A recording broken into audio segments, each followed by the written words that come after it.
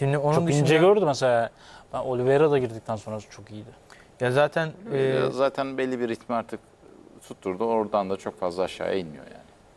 Oliveira için mi? Tabii tabii. Söyle. Ya, Ya zaten Oliveira- Oliveira, biraz şey olsa var ya.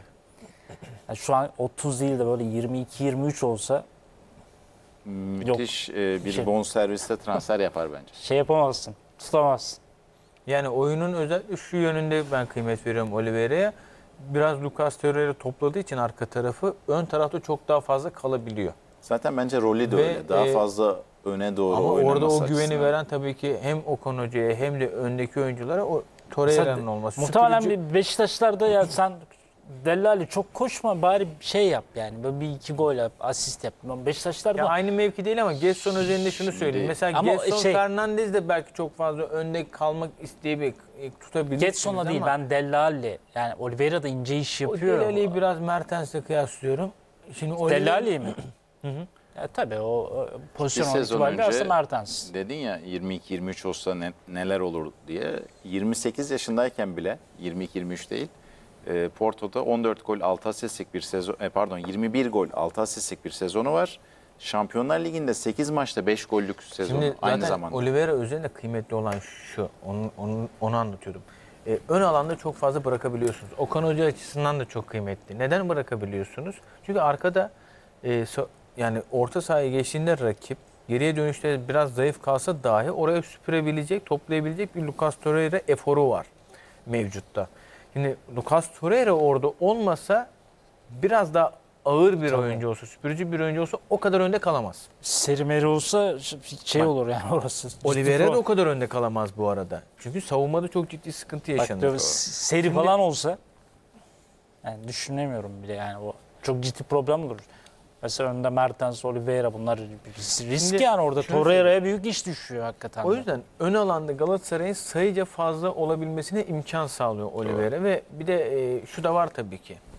Pas yeteneği aşikar. E, şut becerisi çok yüksek.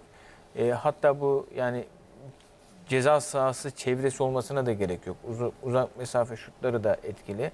E, kanat oyuncularını da oynatabilen bir oyuncu. Uzun pasları da etkili. Şimdi dolayısıyla sizin zaten ön alandaki üçlünüz iş yapıyor. Kerem, Icardi, Raşitsa. Mertens de dördüncü oldu sonradan performans Ee, arttı. Sezonun Zaniolo- başında o kadar iyi değildi. Zaniolo da geldi Şimdi oraya. Mertens de sonradan çok iyi bir şekilde açıldı o ve o Dünya Kupası sonrasının en iyisi Mertens. oyun, oyun ritmini buldu ve dördüncü oldu. Şimdi siz dört oyuncuya beşinciyi ekleyebiliyorsunuz merkezden. Beş ediyor orada. Beş oyuncuyla sağlıklı bir hücum hattında iş yapabiliyorsunuz. Şimdi rakiplerindeki sıkıntılar daha farklı. İşte Beşiktaş'ta ne konuştuk? Üç oyuncu. Dördüncüyü bulamıyor Beşiktaş diyoruz. Galatasaray beş oyuncudan verim alabiliyor hücumu. Beşini birden kullanabiliyor. Ama fark orada Torreira'nın o arkadaki güveni sağlaması. Çünkü Beşiktaş bunu nerede yaşamıştı hatırlayın. Sergen Yalçın döneminde öyle bir Josep de Souza vardı ki yani Atiba da önde oynuyordu. Yanında X kişi de. X kişi dediğim orada Beşiktaş 10 kişiyle oynadı o sezonu. 11.si Atiba'nın ideal birçok değildi. gol pozisyonuna girdiği maç var. 10 kişi vardı Beşiktaş'ın e, ideali. 11.si e, Laiç, Oğuzhan Özyakup, Mensah. Bu üçüden biri oynuyordu. Yani o hafta hangisi daha kötüyse o kulübede oluyordu. Biraz daha hani acaba dedirten, oynayabilir dedirten oynuyordu. Atiba'yı önde tutabiliyordunuz. Çünkü acayip bir Josef de Souza performansı vardı. Rakip e, kendi, rak- rakip yarı sahanıza geçse dahi geriye dönüşlerde öndeki oyuncular problem yaşasalar Josef süpürüyordu önden. Ama şimdi bu sezon Beşiktaş'ta Josef Souza çok ciddi bir sakatlık yaşadı. Bu sakatlıktan sonra da dönüşünde de yine ağrılarıyla döndü. Asla %100 falan değildi. Oynadığı son maçların tamamında çok ciddi ağrıları vardı. E, fedakarlık göstermeye çalıştı. Şimdi orada süpürücü bir oyuncusu kalmadığı noktada geç sonunda öne çıkamıyor. Çünkü arkadaki oyuncusundan cesaret alamıyor. Yani ben önde öne çıkayım, dördüncü olayım burada, beşinci olayım, burayı kalabalıklaştırayım. Ama geriye nasıl, geriye dönmek noktasında bir bakacağız. Arkada büyük bir boşluk, süpüren oyuncu yok. Bunun problemi yaşanıyor. Ee, Galatasaray'da tam tersi artıları oluyor işte. O yüzden e, şimdi klasik ön liberolar değişti artık. Yani bunu görebiliyoruz futbolda. İşte Kante mesela. E, o ön liberolar çok farklılaştı. Torreira da böyle bir oyuncu. Yani e, Trabzonspor'da Siopis keza öyle. Mesela Siopis'in Trabzonspor'un şampiyonluğuna çok ciddi katkısı var. Tabii ki. İnanılmaz Tabii ki. katkısı var. Belki perde arkasında kalan oyunculardan biri ama inanılmaz katkısı Yani var. Aynı katkı işte İlk dörde yazardım yaptı. yani. Şimdi Neden? Çünkü e, işin hücum tarafını çözebiliyorsunuz ama savunmayı da sağlam tutmanız gerekiyor. Her maç iki tane atabilirsiniz de iki tane de yiyebilirsiniz değil mi? E, dolayısıyla rakibi bozabilecek oyuncular, ön alanda bozabilecek yani geriye yaslanmadan merkeze çıkıp hemen orada karşılayacak oyuncular bunlar. E, biraz ön liberolar o yüzden farklılaşıyor. Mesela Beşiktaş'ın da böyle bir oyuncuya ihtiyacı var. Muhtemelen onu da seneye transfer yapacak. Şimdi- Sezon başı şöyle bir şey olsaydı. E, muhtemelen çünkü Galatasaray'ın bir kanayan bölgesidir 6 numara. Yani hep yıllardan beri Melo'dan sonra bir 6 numara özlemi vardı. Bir türlü o şey giderilemedi. Oraya e, onun boşluğunu giderebilecek, o etkiyi yaratabilecek bir oyuncu transferi bir türlü yapılamadı. Etebolar falan geldi yani böyle olmadı yani. Ne Ee, Portekiz'den Asunçao geldi. Asunçao falan ya böyle son dakikada Asunçao. Ee, neyse yani sezon başında bir oyuncu tarifi yapsak e, desek ki Galatasaray'ın isim vermiyoruz. Oyuncuyu tarif ediyoruz. E, işte 1.66 boyunda bir oyuncu gelecek. Senin o problemi çözecek desek kimse inanmazdı. Ama Torreira o fiziği belki dezavantajlı gözükebilir onu avantaja çevirip o kadar güçlü o kadar oyun oyunun hem e, defansif yönünde hem de ofansif anlamda da şöyle bir katkısı var. Dün pası verdi mesela Raşitsa'ya o çok ince gördüm. İlk rakip savunma baskısını yapan oyuncu. Yani orada da artık daha fazla ön tarafa çıkmaya başladı. E, top rakibe geçtiğinde Oliveira ile pozisyon değiştirip ilk baskı yapması da bence çok değerli.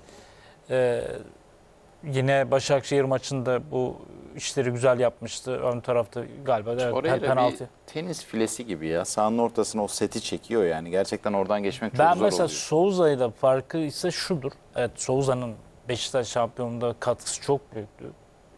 Pozisyonunda ligin en iyisiydi. Kabul edelim. Ama arada bir fark var. Şu tempo anlamında Souza'nın çok önünde.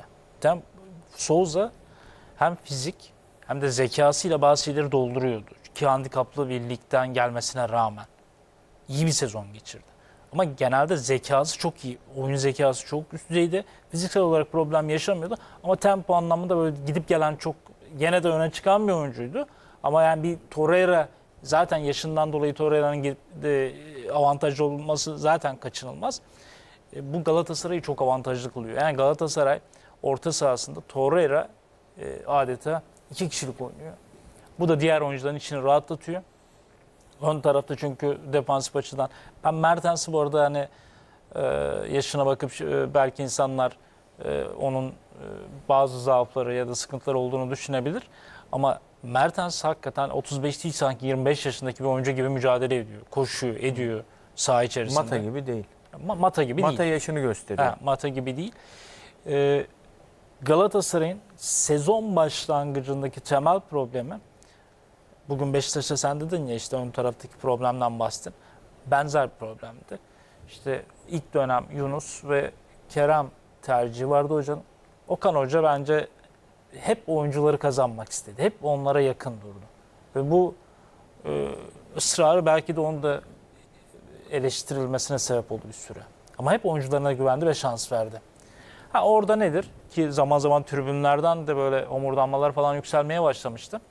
Daha sonra Raşitsa denkleme girince ve daha sonra da Barış Alper ki bir Beşiktaş maçında Barış Alper'le başlıyorsunuz. Ya da Fenerbahçe maçında Barış Alper'i en uca koyuyorsunuz.